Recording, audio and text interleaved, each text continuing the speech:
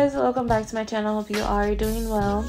Today is going to be a very simple, very, very, very easy set. So this is my light volume set and this is a refill.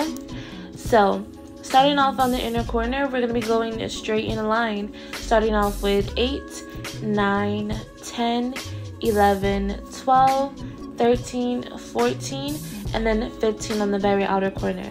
For curl, we're going to be using a D curl as always.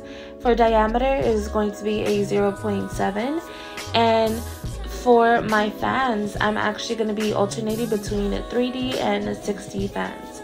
So when it comes to like my rule of thumb I'll put down around two 3D fans one 6D fan, two 3D fan, one 6D fan, and then just continue alternating.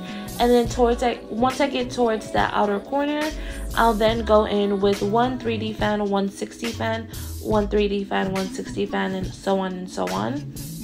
Just because I do want my outer corner to be a lot denser than my inner corner and middle section.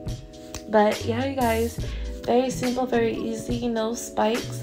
Absolutely love doing my light volume regular sets. They're just, they're my favorites, or one of my favorites. They're all my favorites. they're literally all my favorites. But yeah, thank you guys so, so much for watching this video. Don't forget to give this video a big thumbs up. Comment down below what you guys would like to see next. And don't forget to subscribe to my channel and I'll see you guys in the next video. Bye! This video is going to continue, by the way. I'm just going to go.